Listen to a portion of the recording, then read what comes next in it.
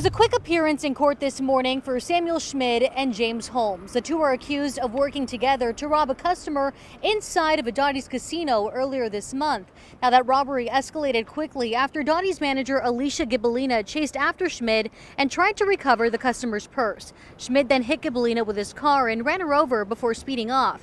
Schmid was arrested in California shortly after the attack. He was then extradited back to Las Vegas. Meantime, James Holmes was arrested here in Las Vegas in connection with the murder. Now, Schmid and Holmes are scheduled to be in court on July 20th for a preliminary hearing. Both men are being held without bond. Reporting in downtown Las Vegas, I'm Melissa Bethencourt.